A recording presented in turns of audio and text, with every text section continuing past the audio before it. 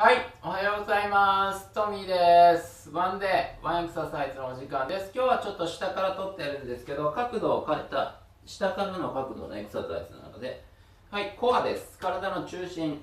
はい、四つん這いになりましょう。はい、で、この時、肩の真下に手、ちょっとなってるかわかんないですけど、で、腰の真下に足ですね。はい、で、この状態でお腹です。お腹を使っていきます。体をまっすぐ。頭もまっすぐですね。なってるか。はい。で、この状態で鼻から吸ってお腹を膨らませます。全体的に風船に空気が入るように。ちょっとこれ、緩いんでわかんないですけど。で、吸って膨らませます。で、口から吐いてお腹をキューッと締めていきます。キューッと今締まってます。で、これも風船が空気を抜けるように、お腹を縦にじゃなくて全体的にキューッと締める。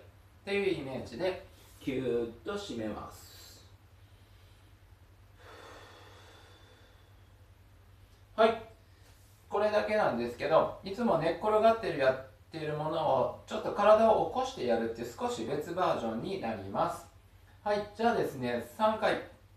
3回一緒にやってみましょう。少し体を起こすと感覚が変わると思うので。はい。で吸って吐いて。深くやっていきます。しっかりお腹を締めます。はい、じゃあやってみましょう。いきます。はい、じゃあ鼻から息を吸ってお腹を膨らませます。はい、じゃあ口から吐いて締めていきましょう。ふー。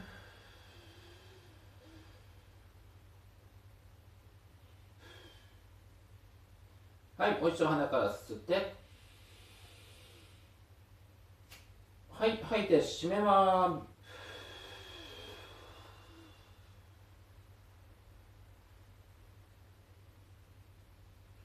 はい、最後鼻から吸って。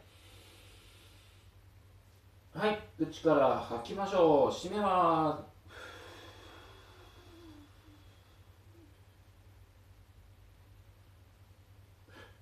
はい、吐いたら力を抜いていきます。